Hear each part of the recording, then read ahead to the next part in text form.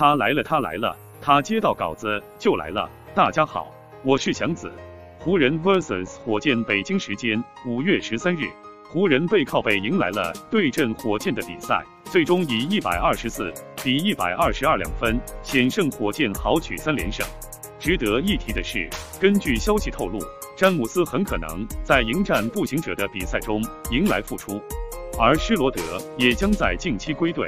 湖人有望在常规赛结束之前完成合体。届时，他们仍将会是联盟中最出色的球队之一。本场比赛虽然安东尼·戴维斯因伤缺战，不过湖人依然在最后时刻守住了这场胜利。其中替补出场的库兹马表现异常出色，在三十二分钟的时间里便轰下了十九分、十篮板、七助攻，并在最后时刻完成了准绝杀上篮。成为了本场比赛胜利的最大功臣，但他们最近两场比赛中，连续在最后时刻击败对手，功劳绝不仅仅属于库兹马一人。其中，德拉蒙德在最近的两场比赛中，终于打出了自己该有的水平，在上场比赛中狂揽十六分、十八篮板，几乎一人统治了内线。不过，本场比赛的德拉蒙德更加高效，出战二十一分钟的时间。三节便拿下二十分十篮板，并且还送出了一次盖帽，全场正负值高居第一。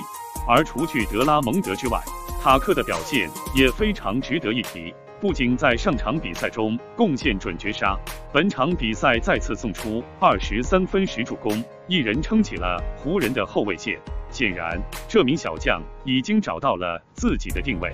相比在数据方面更加出色的德拉蒙德和塔克。马修斯则是不引人注意，不过主教练却看在眼里。沃格尔在赛后盛赞马修斯，称其打出了现象级的表现。后者上场比赛最后时刻完成补篮，将比赛拖进加时。而在本场比赛中，面对奥利尼克送出致命抢断，最终帮助湖人拿下本场比赛胜利。马修斯在最近的两场比赛中，数据并不能体现他的作用。而最重要的是，沃格尔本场比赛终于找到了德拉蒙德和哈雷尔的使用方法。常规时间，德拉蒙德在场上打出了非常不错的表现，但沃格尔却选择在第四节关键时刻雪藏庄神。哈雷尔在末节狂砍八分，成为了本场比赛胜利功臣之一。似乎两人的使用终于有了答案，庄神在常规时刻作用完全可以替代哈雷尔。